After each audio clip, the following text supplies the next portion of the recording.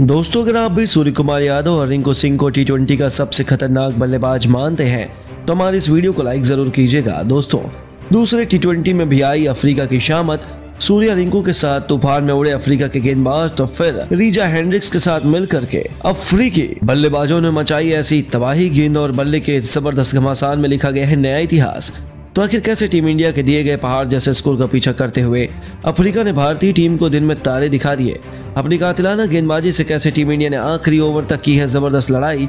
इस महामुकाबले की पूरी हाईलाइट तो हम आपको ज़रूर दिखाएँगे, लेकिन उससे पहले आपको क्या लगता है? रिंकू सिंह और डेविड मिलर में कौन सबसे खतरनाक टी बल्लेबाज है? नीचे कमेंट करके ज़रूर बताइए। दोस्तों, साउथ अफ्रीका में पहला टी मुकाबला बारिश से रद्द हो जाने के बाद दूसरा मुकाबला खेलने के लिए केवरहा के सेंट गार्गी मार्क स्टेडियम में दोनों टीमें आमने सामने हुई। इस मुकाबले में साउथ अफ्रीका के कप्तान एडी मार्क्रम ने टॉस जीतकर पहले गेंदबाजी करने का फैसला किया और टीम इंडिया की तरफ़ से ओपनिंग की शुरुआत करने मैदान पर यशस्वी जायसवाल के साथ शुभमन गिल मैदान पर उतरे। उनके सामने गेंद लेकर अफ्रीका के सबसे खतरनाक गेंदबाज मार्को यानसन खड़े थे।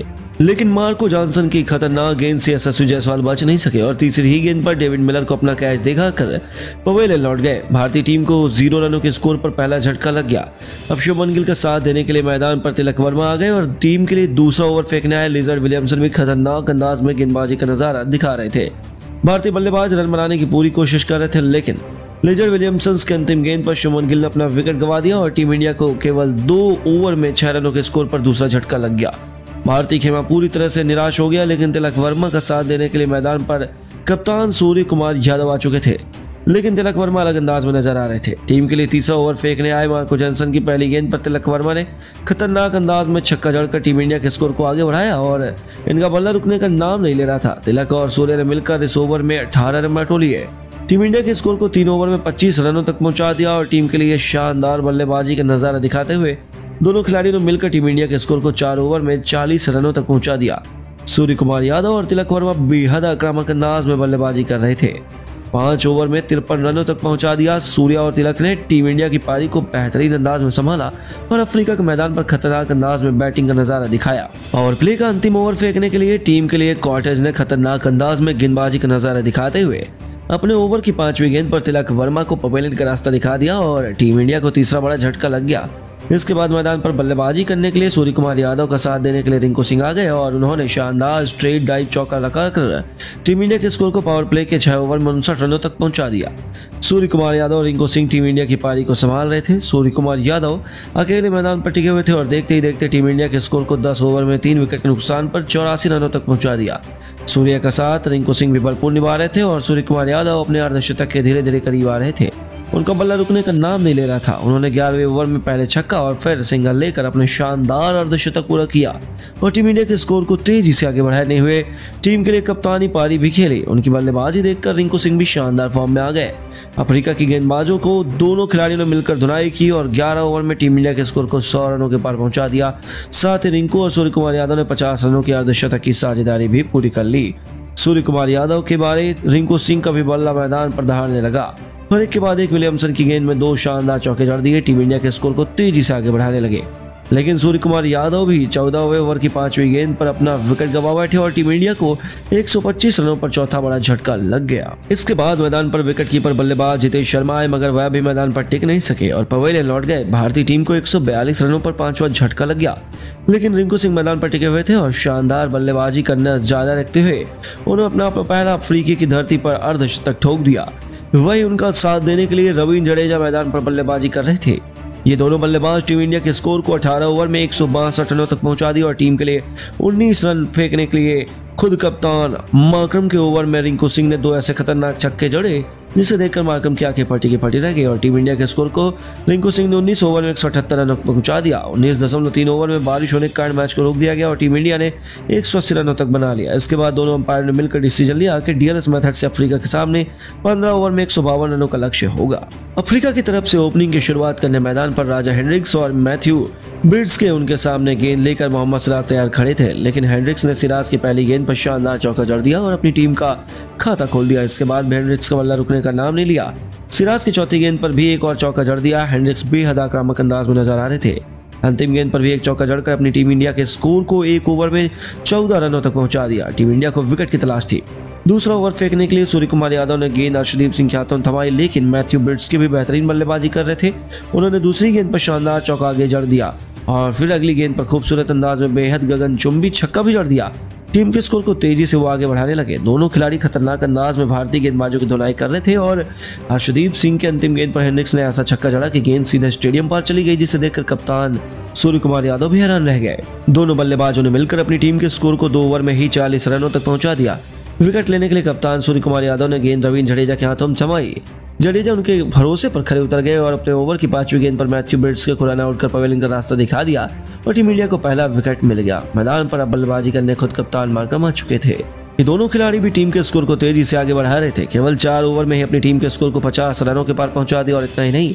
पावर प्ले के छह ओवर में भी दोनों बल्लेबाजों ने मिलकर टीम को छह छह रनों तक पहुँचा दिया। अफ्रीका मैच पूरी तरह से जीत की तरफ़ बढ़ रही थी, लेकिन मुकेश कुमार ने खतरनाक गेंदबाजी का नज़ारा दिखाते हुए आठवें ओवर की पांचवी गेंद पर मार्करम को पवेलियन का रास्ता दिखा दिया और टीम इंडिया को छियानवे रनों पर दूसरा विकेट मिल गया। इसके बाद मैदान पर हेनरी क्लासेन आ गए, लेकिन वही हेनरिक्स तूफानी अंदाज में बल्लेबाजी कर रहे थे, मगर कुलदीप यादव के खतरनाक गेंद में बच नहीं पाए और उनचास रनों पर अपना विकेट गवा दिया। इसके बाद टीम इंडिया ने मैच में वापसी करते हुए नज़र आ रही थी, लेकिन मैदान पर डेविड मिलर आ चुके थे। उन्होंने खतरनाक गेंदबाजी का नजारे दिखाया और अपनी टीम के लिए 12 गेंद पर 17 रन बनाकर मैच का पूरा रुख बदल दिया।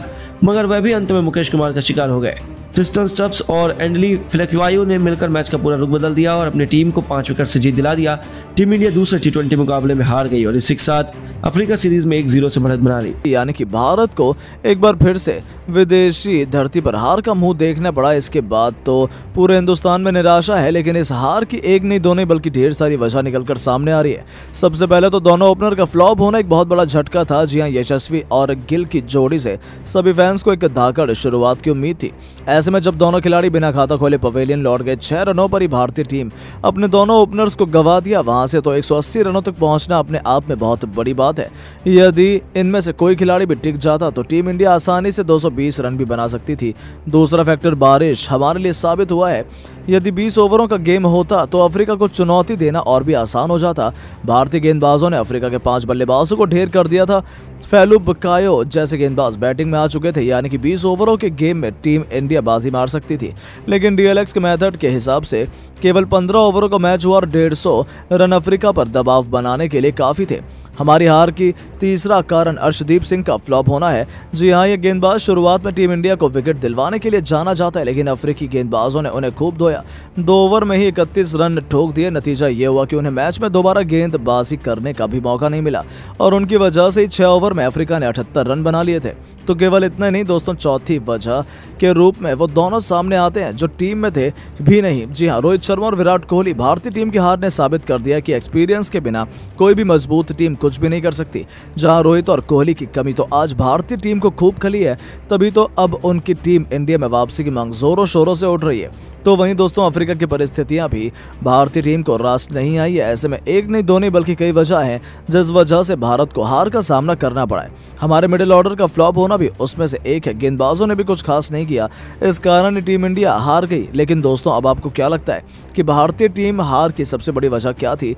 नीचे कमेंट करके ज़रूर बताएँ। लेकिन दोस्तों, भारत की हार को देखते हुए ना, अब धोनी का गुस्सा बुरी तरीके से फूट चुका है। और उन्होंने वो पाँच कारण बता दिए जिसके चलते चाहकर भी भारतीय टीम इस मुकाबले को जीत नहीं पाई। दोस्तों, आखिरकार भड़कते हुए धोनी ने अपने बयान में क्या कहा? चलिए, आपको बताते हैं। पहले वर्ल्ड कप में हारना, और फिर भले ही हम ऑस्ट्रेलिया से जीत गए, लेकिन क्या लगा भारतीय क्रिकेट टीम को? अफ्रीका में जीतना इतना आसान होगा? अफ्रीका अब तैयार है, और उन्हें हल्के में लेना आज हमें भारी पड़ गया।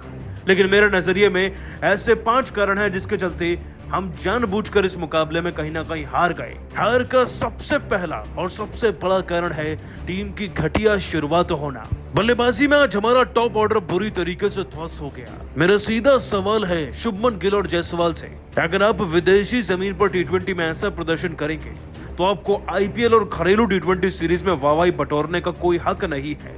इतनी घटिया शुरुआत के चलते हमारी टीम 200-250 तक नहीं पहुँच पाई, जो हार का एक बहुत बड़ा कारण है। हार का दूसरा बड़ा कारण, टीम के सभी खिलाड़ियों का तेज तरार पारी ना खेलना बना। माना कि शुरू में रन नहीं बने और मिडिल ऑर्डर में सूर्या व रिंकू ने बहुत अच्छा किया, लेकिन बाकी खिलाड़ी बाकी खिलाड़ी भी कुछ खास नहीं कर पाए। इनफैक्ट जड्डू को जब मौका मिला तो 14 गेंदों में 30 रन होने चाहिए थे, ना कि 19 और उसी के चलते एक बड़ा स्कोर भारत के स्कोरबोर्ड पर लगने से रह गया। हमारे नज़रिए में हार का तीसरा बड़ा कारण है पावर प्ले में विकेट ना मिल पाना।